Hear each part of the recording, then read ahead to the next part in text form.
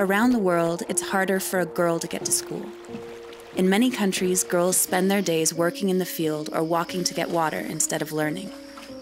In Jordan, home to 800,000 of the world's refugees, CARE is removing barriers so that young girls have what they need to turn into the leaders of tomorrow.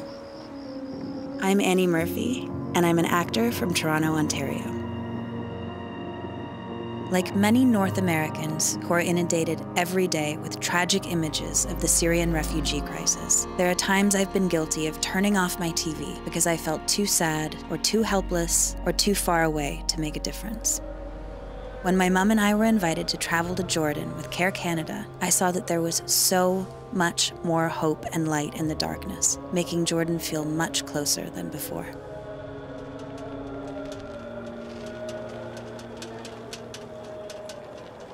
Not all Syrian refugees in Jordan live in the Azraq refugee camp, but roughly 36,000 of them do.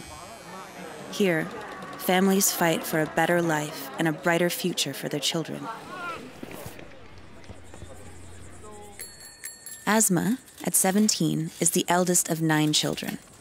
She was the first girl in the camp to ride a bicycle. Riding bikes was considered to be exclusively a boys' activity, but despite bullying and ridicule, Asma forged a path for many girls to follow in her footsteps. Hi. I was invited by Asma and her two younger sisters to come over and meet their mother and father and six other siblings.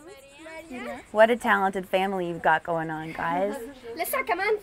There's more, she said. There's more. Oh my gosh. هما بيحكوا انه اسماء اكثر فيها شبه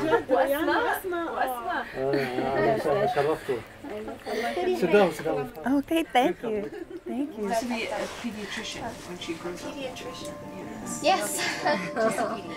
Yeah. Good, for you. Come on,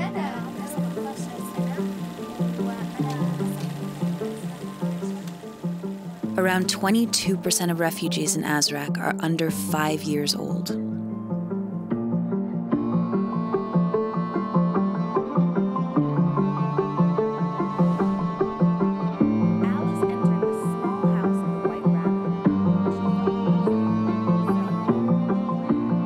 I'll never forget the stories of tragedy and the heartbreaking images I saw in Azraq today.